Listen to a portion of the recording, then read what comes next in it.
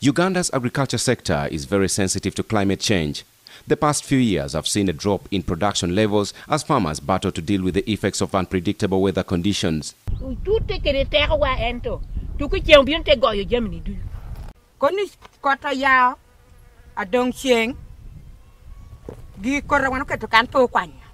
With the imminent threat to the sector, the need for water for irrigation purposes remains high among farmers.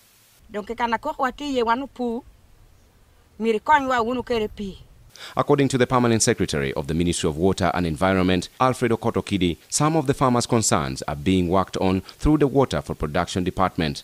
We have completed a number of uh, irrigation schemes. 12 other facilities are under construction, but we have also completed the design for 37 uh, facilities for demonstration of irrigation. He notes that among some of the projects that have been completed so far includes 20 demonstration schemes, valley dams and some large-scale dams. We have done Tochi, which is complete. We have completed uh, Olweny and Agoro. To many of the farmers who have so far benefited from the schemes, this comes as a game changer.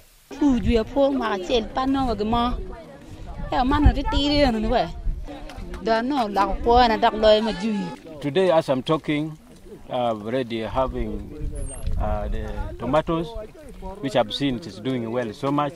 I'm expecting 9 million here.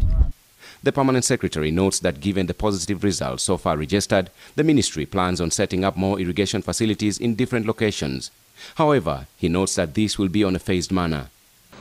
The whole idea is that uh, at every parish, we should have a facility for water production, which acts as a nucleus for that parish, because that is where you can do commercial agriculture, you can do aquaculture. Much as the demand for the water facilities remains high among farmers, completion of work on some of the sites has been hampered by some natural factors. The Lake Kyoga Basin is experiencing influx and a lot of rainfall. So low-lying areas such as those the Tochi or just around the shores of the lake have had the misfortune of being inundated by water.